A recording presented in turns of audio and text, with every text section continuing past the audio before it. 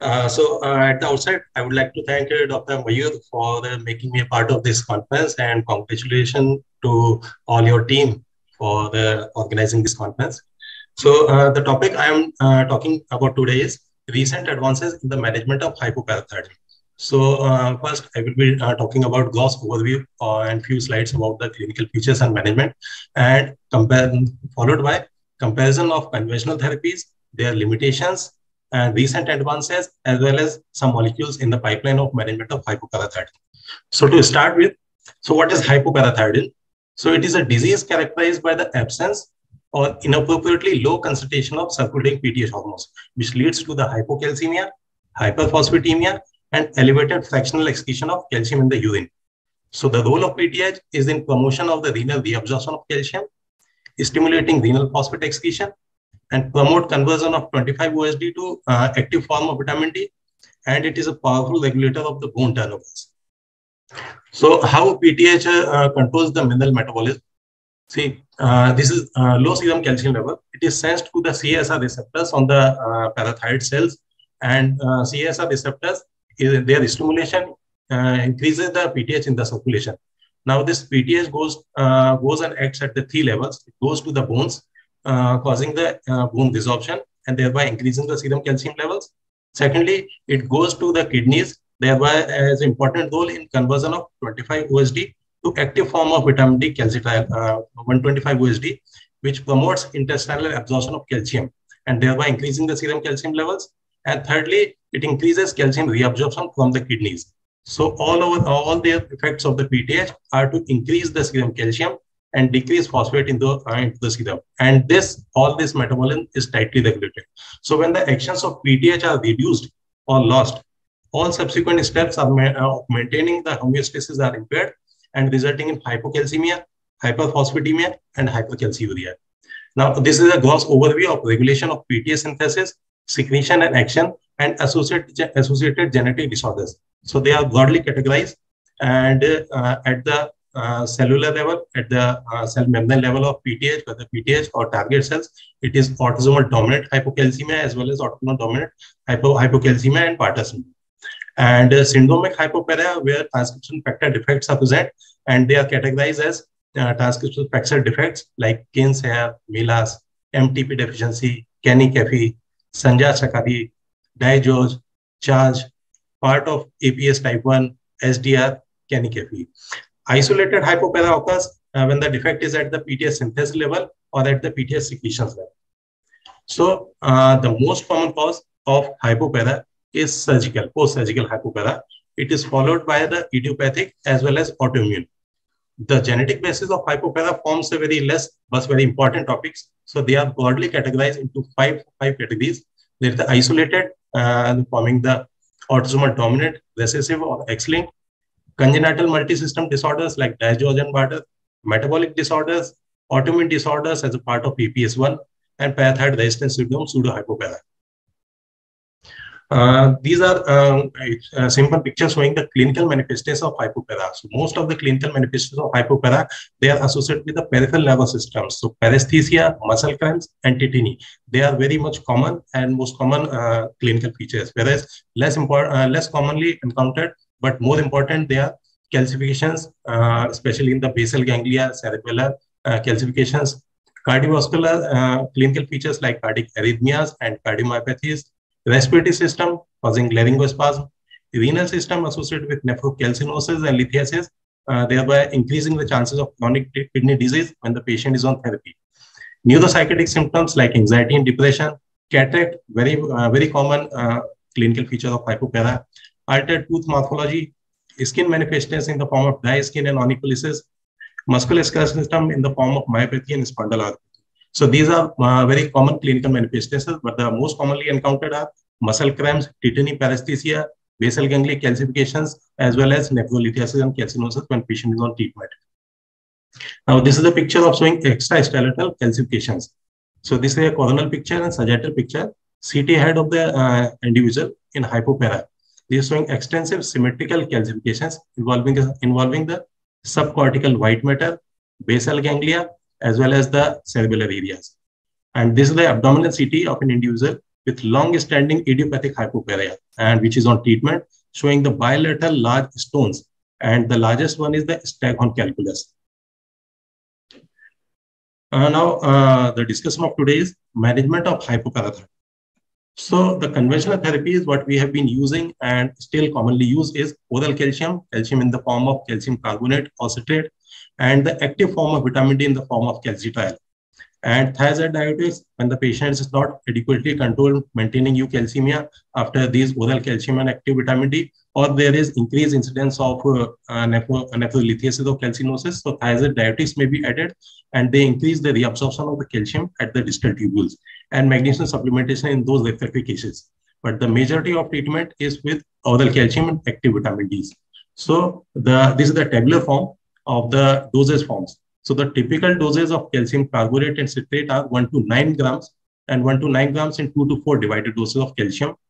Vitamin D preparation, they are used as ergocalciferol or cholecalciferol to maintain the uh, serum vitamin D level of more than 30 nanogram per ml.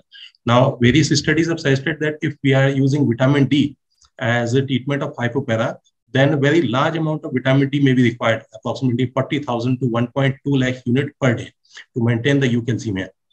So calcitriol forms the uh, molecule of choice, vitamin D molecule of choice in management of hypopara, and it can be given up to the dose of 2 microgram, but usually uh, 1 to 1.5 microgram are more than sufficient. Alfacalcidol, it can be given up to 4 microgram per day.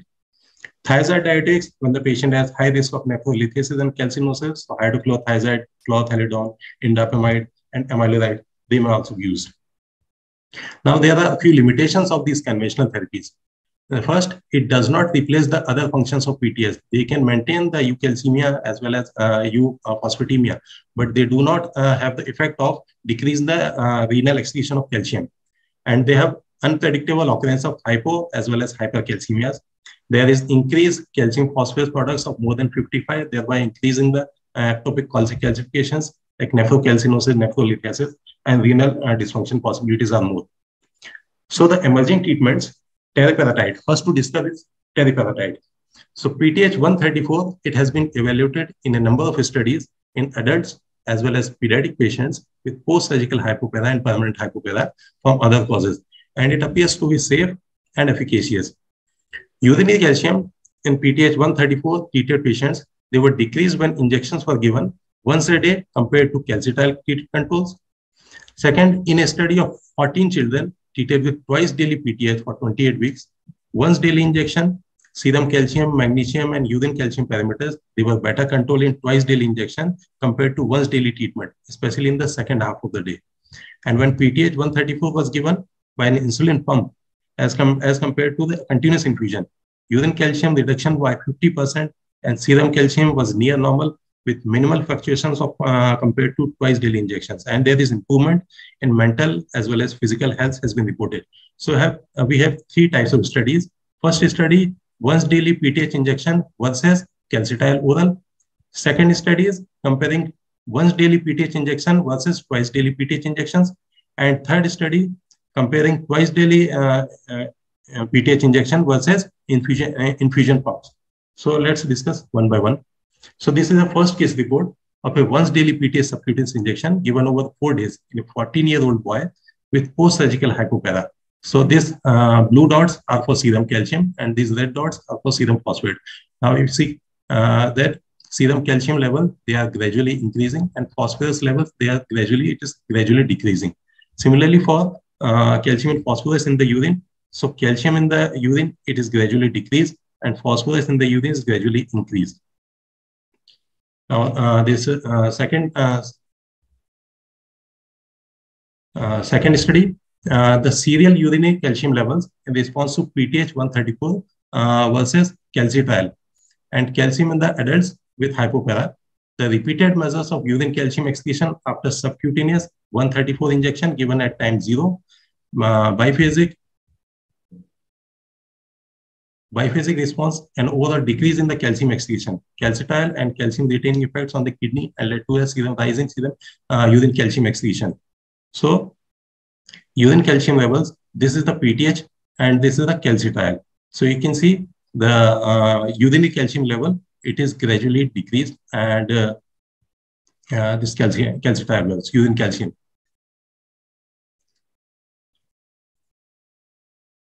Uh, now this again graph, is showing the serial every two hourly serum calcium levels comparing PTH 134 delivered by the twice daily subcutaneous injection versus insulin pump in children with hypopara.